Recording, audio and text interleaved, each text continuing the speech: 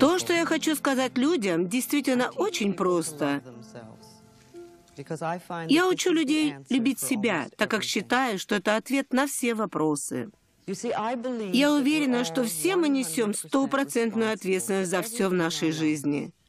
Я считаю, что мы создаем весь свой жизненный опыт своими чувственно-мыслительными штампами.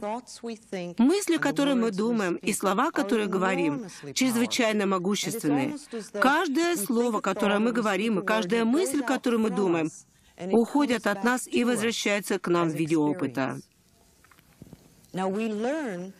Мы учились тому, что думать о себе и чувствовать в жизни, еще когда мы были очень маленькими. В возрасте трех-пяти лет мы установили себе образцы для подражания в жизни. И с тех пор мы реагируем на опыт в соответствии с этими образцами. Часто мысли, которые мы думали, убеждения, в которые мы верили, решения, которые принимали в том возрасте, были хороши для выживания даже в самых трудных ситуациях.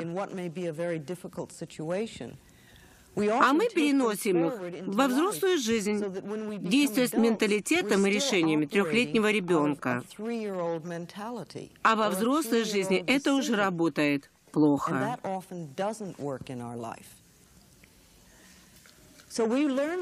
Будучи маленькими, мы обычно учимся у своих родителей. Но мы не можем их обвинять, так я думаю, что все мы жертвы жертв. Никто не может нас научить тому, чего не знает сам. Если мама не знала, как любить себя, она не могла научить и вас, как вам любить себя. Если ваш отец не любил себя, он не смог научить и вас любить себя. Если вы выросли в запуганной и обозленной семье, то вы, вероятно, запуганный и сердитый человек, так как научились этому в детстве. Это не хорошо, не плохо, неправильно, неправильно. Это просто так, как есть. И не важно, какова проблема и как долго это длилось. Ваша это проблема или проблема вашей семьи, новая она или старая. Я хочу научить вас только одному — любви к себе. Если мы действительно любим, принимаем и осознаем, кто мы есть здесь и сейчас, в этом месте, с нами начинают происходить просто чудеса. Жизнь начинает струиться в нас. И на всех жизненных перекрестках для нас всегда горит зеленый свет, и всегда есть место для парковки. Если мы не любим себя такими, как мы есть, тогда мы сами создаем барьеры и оказываем сопротивление своему благу. Я не имею в виду тщеславие с гордыней, ибо это не любовь, это страх. Давайте поговорим о том, как принимать то существо, которым мы являемся. Я провожу с людьми много работы с зеркалами. Я прошу вас открыть руки. Спасибо. Что интересно, этот жест означает закрытость. Я помню, что прожила долгую жизнь с этим жестом, который говорит «я закрыта». Я не помню, как я жила, я просто жила. В то время я была испугана, и я не хотел ничего нового, так как не знал, что сделаю или что произойдет. And Когда я работаю с людьми, веду семинары или классы, я прошу людей открыть руки, чтобы мы могли впустить новое в себя. Здесь наше подсознание, а своими руками мы его закрываем. И своими руками говорим, ничего нового не войдет в меня. Открытые руки означают, я открытый восприимчив к новым идеям, я хочу учиться и изменяться, я хочу расти. Иногда я не хочу, иногда мне не нужны никакие изменения в этом направлении, а интересует другое. И тогда я закрываюсь. Я предлагаю людям поработать с зеркалами. Я прошу их говорить аффирмации в зеркала. Первое, что нужно сделать после сна утром, встав с постели, подойти к зеркалу в ванной и сказать себе, «Я люблю тебя». Что я могу сделать для тебя сегодня, чтобы ты была счастливой? И если вы не получаете ответа, это означает, что эта часть вас вам не доверяет. Но если вы произносите это снова и снова, вы обретаете связь с собой. Это действительно исцеляет. Дважды в день в течение месяца я смотрела в зеркало и говорила, «Я люблю тебя. Я действительно очень тебя люблю». И вы тоже ощутите свои чувства и эмоции, заметите их. Когда вам трудно смотреть себе в глаза, то трудно и сказать «я люблю тебя». Обратите на это внимание. Откуда этот парадокс? Вспомните, маленькие новорожденные дети просто обожают себя. Они полны открытости, полны любви, свободно выражают себя, просят, чего хотят, обнимают свое тело с ног до головы, любят каждую часть его, даже слюни, которые они задурно размазывают по всему телу. Это потому, что никто пока не научил их стыду и чувству вины.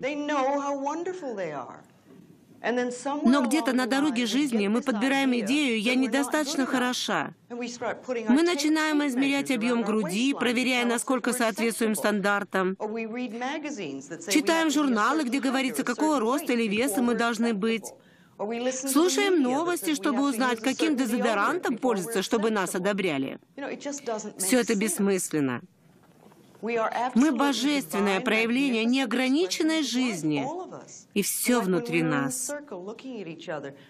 Каждый из нас — уникальное выражение Бога, и мы не должны быть одинаковыми. С начала времен на этой планете не было двух одинаковых снежинок. Конечно, нет и двух одинаковых людей. А мы всегда стараемся быть похожими на других, чтобы нас одобрили. Бог видоизменяет нас, чтобы нам было легче себя принимать. Наша уникальность делает нас замечательными. Нам нужно принять и полюбить эту идею. Если мы действительно верим в свою уникальность и в уникальность других людей, тогда нет соревнования, нет сравнений, и не может их быть. Мы просто различные. И это замечательно. Через зеркало мы можем осознать многое, проговаривая аффирмации. Кто из вас ежедневно произносит аффирмации? Хорошо, давайте поговорим об аффирмациях. Каждая наша мысль, каждая фраза, которую мы говорим, есть аффирмация позитивная или негативная. Она создает наш опыт. Говоря о том, что нужно что-то проработать, мы имеем в виду конкретную позитивную мысль, чтобы создать или изменить что-то в нашей жизни. Если вы будете говорить, я не хочу эту работу, этих отношений, не хочу таких бедер, не хочу еще что-то, это не принесет вам то, что вы хотите. Это называется бороться с негативом. Это только сохраняет вам то, чего вы не хотите. А если вы будете говорить аффирмации, «У меня есть новая замечательная работа», «У меня прекрасные новые отношения», тогда вы будете создавать то, что хотите. Аффирмации как семена растений. Если хорошенько подумаете, то поймете, что сажая в землю семечко, вы не получаете моментально помидоры, клубнику или дуб. Это семя должно находиться в почве. Ему нужно сначала прорасти, это означает, что оно раскрывается, у него растут корешки, они получают пищу из земли. И только тогда появляется первый росточек на поверхности. Люди говорят, «Хочу миллион долларов», и останавливаются. Говоря аффирмации, мы не должны останавливаться на первом ростке. Мы должны дать ему шанс вырасти. Аффирмация — это посадка зернышка, повторение аффирмации — это полив. Вы продолжаете, продолжаете, продолжаете. Неважно, видите вы результаты или нет. Иногда просто требуется время. Многие люди произносят аффирмации два-три раза в день, и после этого говорят, посмотрите, это не работает. Все происходит в определенное время и в определенной совершенной последовательности. И мы должны верить в аффирмации и доверять этому процессу. Если вы начали проговаривать аффирмации, то должны делать это каждый день. Решите, чего вы хотите, и начните делать позитивные утверждения в настоящем времени. Никогда не говорите «я буду иметь, я собираюсь иметь». Если вы говорите так, то все останется в будущем. А если вы говорите «у меня есть прекрасная новая квартира, хотя живете в убогой», это не означает ложности вашего утверждения. Это значит, что вы сажаете семечко, которое вырастет и станет вашей квартирой.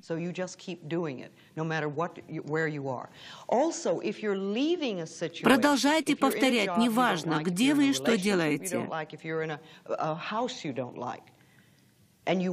Если вам не нравится ваше теперешнее жилье или отношения, то отпустите их с благословением и с любовью. Отпустите нелюбимую работу другому человеку, который будет от нее в восторге. То же самое сделайте и с квартирой. Если это отношение, то отпустите этого человека с любовью, к счастью, значимому для него. Это освободит и для вас принятие блага, значимого для вас. Вы знакомы с моей голубой книжицей о работе с телом. Я очень много работала с освобождением и училась отпускать прошлые обиды. Для каждой клеточки нашего тела есть ментальный образец. Если вы знаете, каковы ваши ментальные образцы, то можете начать их изменять, чтобы исцелиться. Мы не хотим болеть, это понятно, но иногда мы хотим заболеть, так как это хороший выход из создавшейся ситуации. Некоторые из вас не умеют сказать «нет», и потому создают болезнь, чтобы отказать таким образом. Это законный способ, принятый в обществе для выхода из запутанной ситуации. Но в основном мы не хотим болеть. И тем не менее, нуждаемся во всех болезнях, которые имеем, ибо это способ, которым тело говорит нам о ложных убеждениях нашего сознания. Что-то, о чем мы думаем, во что верим и о чем говорим, не создает нам блага. И тело этим недовольно. Оно сигнализирует, «Пожалуйста», — говорит оно, — «обрати внимание».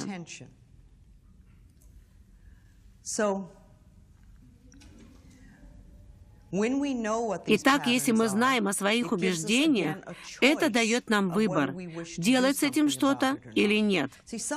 Некоторые люди не хотят освобождаться от болезни. Недавно я прочитала очень интересную информацию, что только 30% людей, которые ходят к врачам, следуют их предписаниям.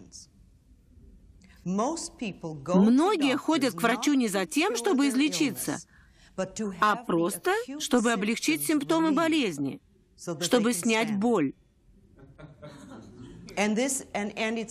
Между врачом и пациентом существует неписанное соглашение. Врач обещает его не лечить, если пациент притворится, что он выполняет рекомендации. Один за это получает деньги, а другой повод для оправдания. Очень-очень редко кто выполняет все предписания врачей. Я встречала людей, которым кто-то делал подарок, направляя ко мне, мол, сходи к Луизе, тебе это нужно. Такие люди по направлению настоящее бедствие. Некоторые больше не появлялись, а другим становилось неинтересно. Кто-то притворялся, что ему интересно, но ничего не делал, или делал совсем чуть-чуть, и больше не возвращался. Мы должны быть готовы работать с собой. Каждый человек пришел на эту планету, чтобы выучить урок. У вас свои уроки, у меня свои уроки, все мы разные. И мы здесь не за тем, чтобы проходить чужие уроки, чтобы изменять других людей.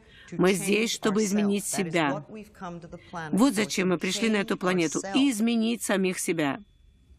Если мы стараемся пройти за другого его урок, сделать что-то или все уладить, то тот человек не сможет ничему научиться. И даже если мы поможем, разве не удивительно, что он заново создаст подобную проблему? Таковы все люди. Мы вытаскиваем их, делаем за них что-то, но посмотрите, с какой легкостью они воссоздают заново свои проблемы. Это их ментальный образец, это их грабли. И с этим ничего нельзя сделать. Но можно научить их, как из этого выбраться. Но гораздо лучше, если они сами захотят учиться. Это ученик должен прийти к учителю. Давайте немного поговорим о болезнях. Я хочу пройти по телу, по различным его частям и убеждениям, создающим болезни. Голова представляет нас в метафизическом плане. Это то, как мы видим друг друга. Большая часть нашего тела почти все время закрыта, и только голова остается открытой. Голова представляет нас. То плохое, что происходит в нашей голове, обычно означает, что мы плохо относимся сами к себе. Головная боль — это обычно обессиливание себя, обвинение себя за что-то. Когда у вас в следующий раз заболит голова, спросите, за что я себя обвиняю? Что я сделала такого, что не могу отпустить свою вину? Простите себя за это. Позвольте энергии принятия течь сквозь вас. Даже если вы здорово вляпались, ну и что? Примите это как урок. Не стоит себя за это укорять. Когда вы себя наказываете, вы ничему не учитесь. Уши — это способность слышать правду.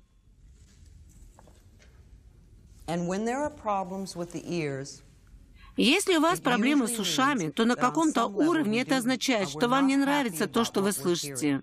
У маленьких детей часто болят уши. Это означает, что они слышат много дурного, но ничего не могут с этим поделать и злятся. Родители им не позволяют злиться, часто говорят «нет», дети отказываются слышать, и возникает боль в ушах. Любой ожог, температура, любой синяк, ушиб — это гнев, направленный против себя. Гематома, париас — это гнев. Гнев, направленный против себя. Волосы на метафизическом уровне означают силу. Интересно, как растут волосы. Они представляются как волосяной покров. Очень часто, нервничая, мы напрягаемся. Когда устаем, мы передаем это своим плечам, спине, голове, скальпу, коже под глазами.